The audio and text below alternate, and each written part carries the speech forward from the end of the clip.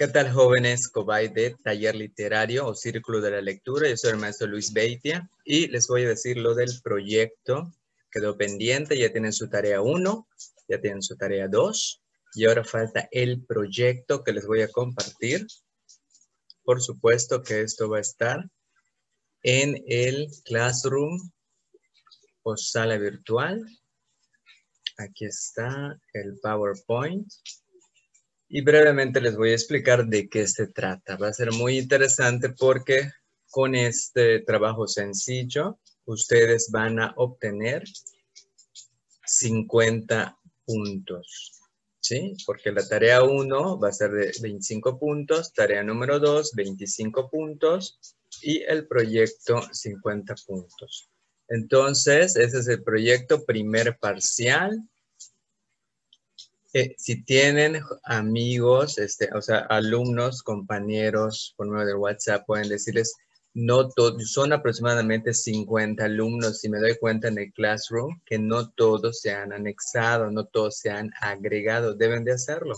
Me piden el código en, el correo electrónico, se los doy y ustedes se agregan. Cuando yo envíe tareas, pues todos están enterados porque enseguida llega eh, el aviso de, de la tarea, ¿bien? Entonces, el libro eh, digital, el ebook o el PDF que van a leer ustedes se llama Ser joven en la era digital. Ese es el que van a, leer y de ahí van a sacar toda esta información. El valor, como les dije, es de 50 puntos. Tienen que poner, eh, hay una hoja que, que va a estar anexada en Word. Yo ya la hice, ahí están las preguntas. Agarran ese documento allá en el Classroom y eh, lo van contestando y después lo suben y les voy a decir cómo, qué nombre le van a poner al documento en Word. Nombre y apellido de los alumnos, grado y grupo, por supuesto. Y después ya que leas detenidamente este libro electrónico que te lo envío en PDF y que tú lo puedes bajar y, leer, eh, te digo cuáles son los autores de este libro, según este libro, qué porcentaje de los jóvenes utiliza el correo electrónico. En este libro se hizo, eh, es como una especie de, revista, pero realmente es un libro. El formato, después te los voy a mostrar brevemente para que ustedes lo vean. Em, y, y, ustedes lo van a tener que ir checando poco a poco. Según este libro, ah, es lo del correo electrónico. Y la número 3 dice, según información del gráfico 3, bueno, tiene varios gráficos este libro. Buscan el que diga 3 y ahí en, en cuestión Latinoamérica, porque si, se hicieron encuestas en diversos países latinoamericanos. Está muy interesante el, este libro que es Ser joven en la era digital. Y ahí te va diciendo, en este caso, hasta les puse entre paréntesis para ubicarlos mejor, porque dice hacia abajo de porcentaje tiene la superior completa. Y puse entre paréntesis todos los días para que ustedes ubiquen de la gráfica. Pueden decir, ah, de eso se trata. Como un tip les puse. Igual el número 4 dice cuál es el nombre para los jóvenes del siglo XXI. Bien, les llaman de muchas maneras, pero en este libro tiene otra manera, otra forma de llamarle. Y también dice, ¿y ¿en cuáles años nacieron la generación X? Ahí van a ver, hay, la generación Baby Bloomer, hay la generación de, de Millennials, hay la generación, como le llaman X, pero ahí te va diciendo, le van llamando después de determinado número de años, dicen, ahora nace la generación y le ponen un nombre. Pero bueno, en ese libro se van a dar cuenta. También dice las seis de qué otra manera se llaman a los millennials. La siete dice, según los modos de, de, interacción en las redes sociales, se afirma que los jóvenes en particular tienen en la actualidad dos vidas, según este libro, pero ustedes cuando lo lean se van a dar cuenta, bueno, una vida se le llama así y la otra vida se le llama de esta manera. Toda esa información está en este libro. Bien, y si seguimos, dice la 8, hay un estudio que dice existen 12 tipos de usuarios en redes, según lo que estuvieron estudiando en el libro. La investigación que se hizo, es un libro de investigación, y ahí dice, hay unos que, y los va nombrando por categorías, y también comentan cuáles son los inseguros, es lo que quiero que ustedes me, escriban en la número 8.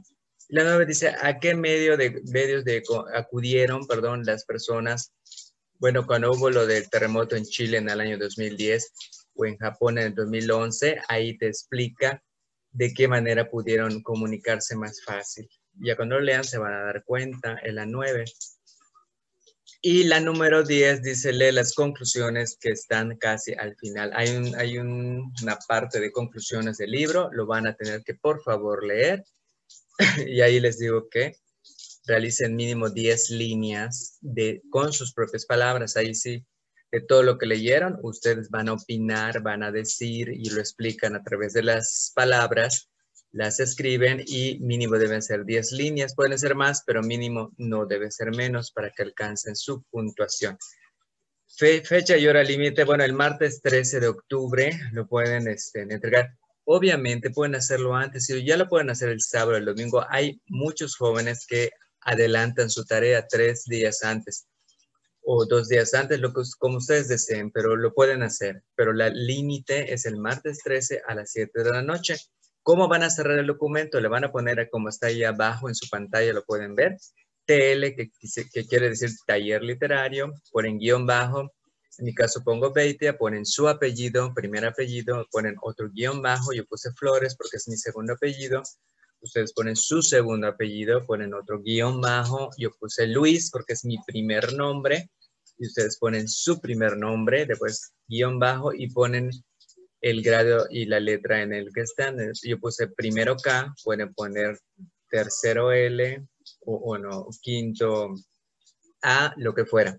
¿Sí? Ustedes ya así cierran su documento apenas lo tengan. Leen, lean por favor ese libro electrónico que está en PDF. Cualquier detalle lo vuelven a leer, no hay ningún problema porque de repente dices, no recuerdo esto. Bueno, te vas otra vez, tiene varias páginas y vas checando bien las respuestas para que no falles. Bien, y brevemente es esto, solo les muestro el, el documento ahorita ya estén. En este caso, pues cierro este, pues ya lo vimos.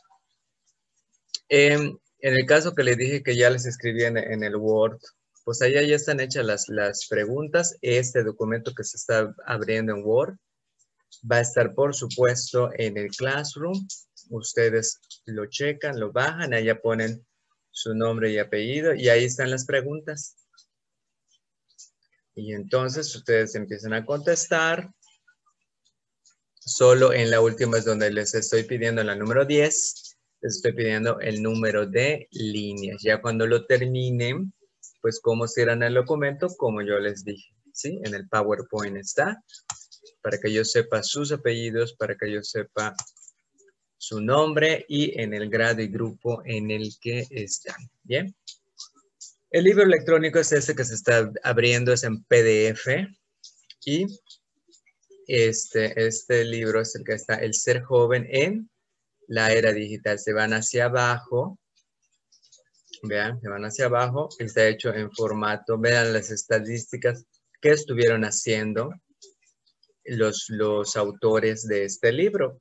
En este libro mayormente es de investigación. Recuerden que a veces hay novelas, hay cuentos, cuentos juveniles, eh, de ficción, de terror y en este caso eso sería un libro de investigación porque todo eso, por eso ponen las estadísticas. Si les sigo yendo hacia abajo, como lo ven está dividido en dos columnas como mayormente se hace en un artículo cuando se escribe, pero esto es un libro.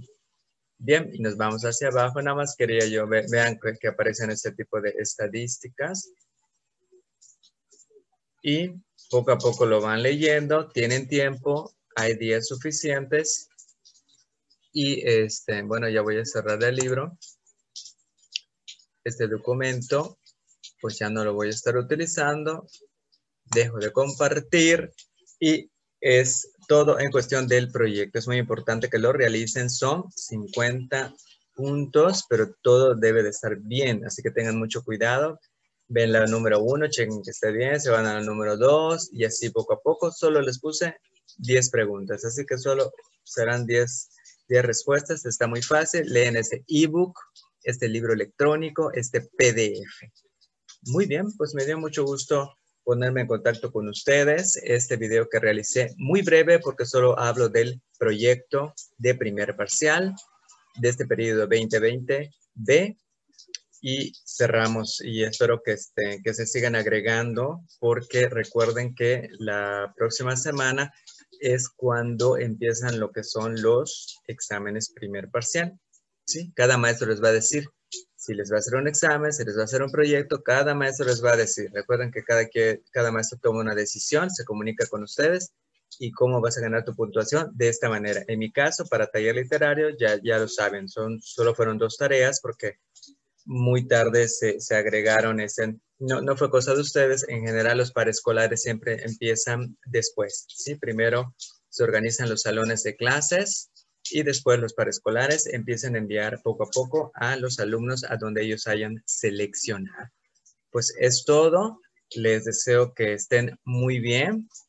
Afortunadamente yo creo que nos fue bastante bien hablando del huracán Delta que este, no fue tan fuerte porque supuestamente iba a ser categoría 4 y bajó a categoría 2. Fueron muchas lluvias y todo, vientos, pero bueno, estamos yo creo que la mayoría bien, no todos, pero sí yo creo que la mayoría. Mucha salud, mucho éxito, seguimos en contacto, gracias por ver el video. Yo soy el maestro Luis Beitia, recuerden que soy el maestro de taller literario o círculo de la lectura y también soy el maestro de inglés, uno de los maestros de inglés del Colegio de Bachilleres Plantel Choclan muy amables. Gracias y que estén muy bien. Hasta la próxima.